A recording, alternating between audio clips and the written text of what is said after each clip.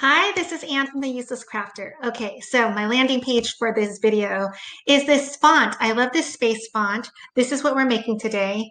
Um, it's just, it's a shaker, so you can, I think you can hear it, sort of. but these little holes um, they have little sequins and stars in them. It's super cute. I like doing these little props to go with, I mean, I have the cake topper because it's for a space themed birthday. So this will go somewhere on the table. I like making little supporting items. Um, so anyway, the font is from here because I've gotten a lot of questions on it. Um, it is an expensive font, but excuse me, anything from Creative Fabrica, if you actually get the subscription, you can just download and it comes with commercial usage. So I love that for my fonts.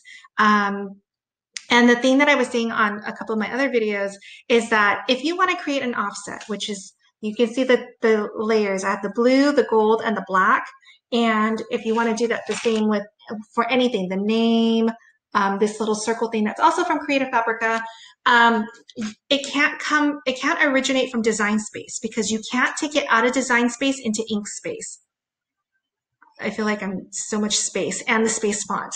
but uh, so you need another source to for your fonts and also for your images. So I do like Creative Fabrica. If you end up getting a subscription, you can always try for one month.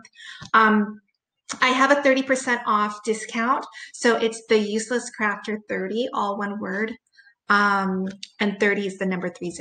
So, and I'll get you 30% off. So, all right, download. And then, you know, if you um, download onto your computer, and then if you close out uh, Design Space and then open it back up, the font will be there. So, anyway, all right, so we're going to go into Inkscape. Um, I know it took me so long to get into Inkscape, but now that I'm in it, I can't stop using it. So, um, excuse me, for the offset, I feel like it really just makes your project look so much better. And I have another example. I'm so behind on my tutorials, and so I'm doing quite a few of them today. So you can see the different layers here, the names. It really just adds a lot of depth and a lot of character to your projects, and I feel like it looks more complete and more professional. So let's work in Inkscape. It's literally the only thing I know how to do. Um, but I feel like it's it's good. It's all we need to know, right? Until I decide to do something else. But it's really easy. So first thing is you want to, I do, you want to import all your images. So images or your fonts. So I'm going to do the eight. Here's my eight. All right. Um, similar to Design Space, you have your lock button. So this is currently unlocked. So I want to lock it because I want to make it big so we can see it. So this is super cute, right? This little eight. so I want to show you what I did. We have the original eight. So just assume this is our original eight, right? And then we have a, a 20% or a 20 millimeter increase uh, for the offset in the gold and then another 20 for the black. So this is what we're going to do. The eight is currently selected, right? So with your cursor, just um, tap down in the open white area. So now it's deselected, right? Go to, and I'm sorry, I need to make this a little bit smaller because my buttons are right there. So, all right. Then what you want to do is you want to go and select the paint bucket select any color. It doesn't matter because we're going to fix it in design space. The first thing that we want to do is this is a shaker, right? I think you can see all the sequins in there. Okay, the sequins layer is actually 20 in, okay? So we're going to do minus 20. And the reason why this is a new thing, this is the first one that I did it like that, um, because when you create your layers, you know, you always do five layers of the inside where you're going to do your shaker. I like doing it smaller than your top layer because then you don't see it at all. So you can have a lot of glue, a lot of tape to make sure that thing is locked in and tight so your sequins don't fall out because I had a lot of leakage problems in my earlier ones. So, and it gets messy. So I like doing the offset making it smaller. Okay, so this is at negative 20 or negative, yeah, negative 20. So click on it and you can see the blue layer is inside our black layer. So this is gonna be behind what is here. So you can't see it, okay? Now, you have your paint bucket, go get your arrow and see how this is selected. So you want to select in the white area so nothing is selected. Go hit the paint bucket. Let's pick another color. And now we want to create the offset, the bigger one, right? So now we want to go here and instead of negative 20, we want positive 20 because neutral zero is our original black layer, okay? So now let's click on the black and there's our big layer, right? So same thing, hit the cursor, hit the white blank area, paint bucket, another color, and now we're gonna go to 40. So click on that. Now it's a little bit bigger. So hit the arrow, the blank space, the paint bucket, another color. We're going to do 60. I always like to do now, that's part of my process, is 20, 40, 60, because that will give you the layers. You don't necessarily have to use all of them, but you don't want to um, save this, go into design space, and then decide, oh, I want another layer. So it's easier to do your three layers while we're here, and then you can delete later. All right, so we already picked our color. Let's go up here and change it to, did I pick my color? My paint bucket is, yes, another, let's just pick another color in case I wasn't paying attention. okay, all right, so let's change this to 60 and let's click on this. Perfect, so now we're ready to go. Click on your arrow key and let's, and click on the white space and grab everything. Go to path, object to path, and then file, save as, save this as whatever you want it to be. So it's going to be my offset demo. You have to remember where you saved it because we have to upload it into Design Space. All right, so we're done in Inkscape. Inkspace, okay? Uh, oh, Inkscape. I've been calling it Inkspace. All right, I knew it sounded funny. Okay, so Design Space. This is what it looked like to create this. Um, I did have this cut because I couldn't decide if I'm going to want this or that. And so this was the other piece that I didn't use, but I'll use this for something else. I like this when it when it was all said and done. Okay, so let's make this a little bit smaller so that we can see what it looks like in its final stage, and then we're going to recreate this. Okay, so go to upload, upload image, and we're going to go get our offset 8, right? So here's my offset 8 demo, the one we just created. And save. and then select it to insert your image. So here it is. Now, um, this is totally, I was going to say it's totally up to you, but we do want the backspace here because you're going to want to be able to see through this. Otherwise, it's going to, well, depends. If you want a color in the background, you can because I did have a color in the background for this. So do you see it's a dark color? And then I have the acetate on top. So it's up to you. If you want a dark color, what you're going to need to do is this. We're going to ungroup this, right? This is our final back layer. If you want a solid color to show through, then you go to contour and hit hide all and now you have this. So it's totally up to you. You don't waste any more cardstock or anything because you were going to cut the outline anyway. So this middle part would have been wasted.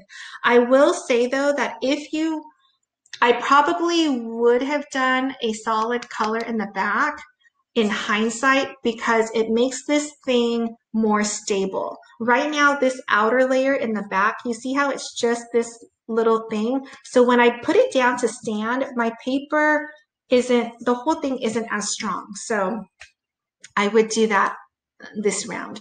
Okay, so here's our, our backmost layer. Here's our second one. So let's do the same thing. Let's go to contour and hide all. So you have a solid layer and we'll bring this to the front just so that we can visually um, see what's going on. All right, so here's our second layer this same thing with here contour um, hide all so that we have our oops and send to the front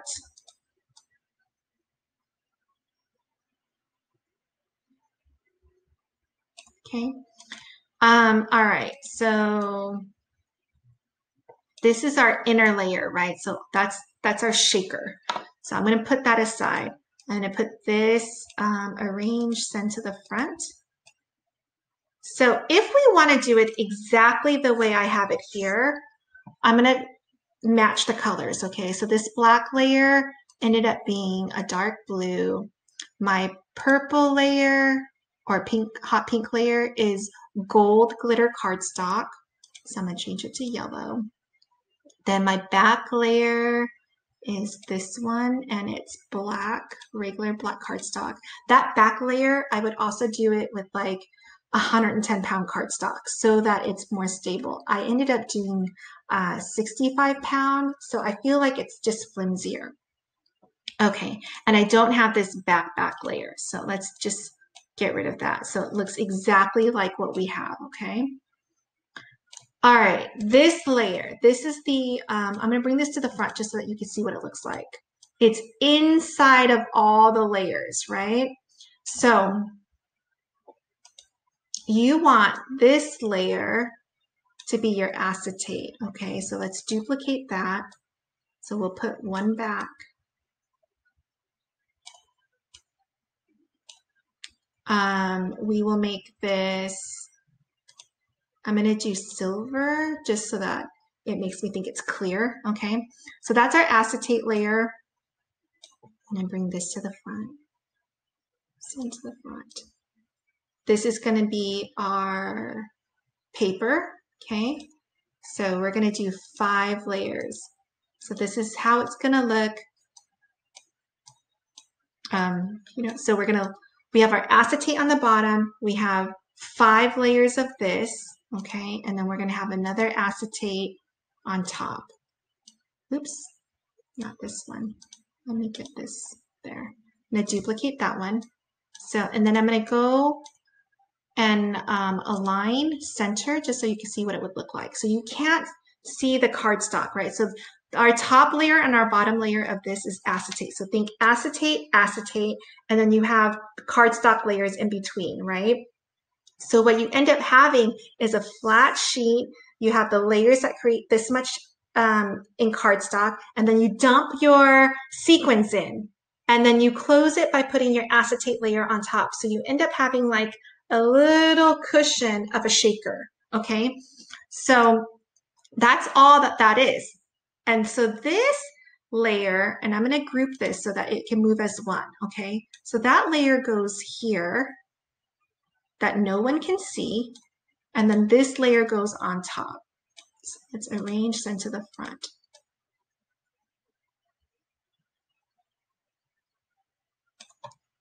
And there you have this. Okay, now this, if you want this, all I did was I went into images and it is sitting, I don't know if you can see on here. So there's, you know, it's just stacked. Um, this is sitting on some um, glue dots. So it has like a little bit of space on top. So it feels very 3D-ish. Um, I think I just did stars. Can't remember what I searched for. Yeah, I think it was here. Um, so let's see if we can find it and I'll show you how to manipulate that image because it was a little bit, um, we did need to do one or two steps. Um, if I can find it, let's see. This is making me nervous because I'm seeing things that are not stars. Where did I see that image? I don't remember going down this far. Did I? Okay. It was definitely a design access image. Um, Darn, I'm not seeing it. Oh, this was the other one that I did. That one is this, in case you want it. Um, so maybe it is here. Mm. Oh my gosh. I just don't remember scrolling this far, but it's such a cute image. So I want to really try to find it.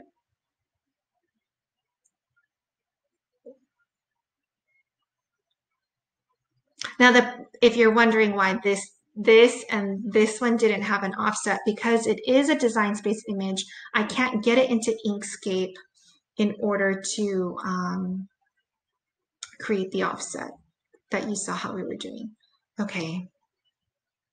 It just, let me see if it makes a difference if I just do star.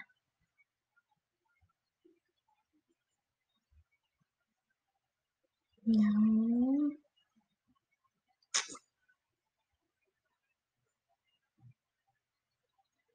Okay, that was sucky.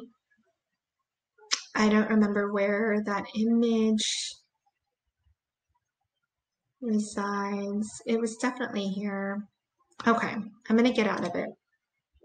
But that those are just extra things. I mean, I think it would have been fine without it. Um, so these are my layers. I'm trying to think if there's anything else that you need. Um, we can go to the make it screen. I'm going to delete this so that this doesn't get in the way. Okay, let's go to make it just so you can see. So this is our acetate, right? This is one of our layers, one of our layers. This is our shaker part, right? So it goes with the acetate. This is building the layers. Now, in this case, I feel like, um, it doesn't have to be this color because it's hidden. So if you wanted to move this to another page, so for instance, click on the click on the item, click on the three dots. If you had, let's say, extra black paper and extra room on here, just make it black. Just put it on there and you see there it is. It doesn't matter what color it is because you won't see it. But it's a shame to just have two on this one. So I'm going to move this. I figure you have a lot of plain black sheets, so I'm going to just move it here. Okay. Um, this blue we want, that's our top layer. And then that's it. Um, is this one touching? No, okay. That's it. If you have any comments or questions, please post them. And if you have a project that you would like help on, I would love to do that. So you just need to reach out to me somehow, Instagram, Facebook, or here. All right. Have a great day. Bye, guys.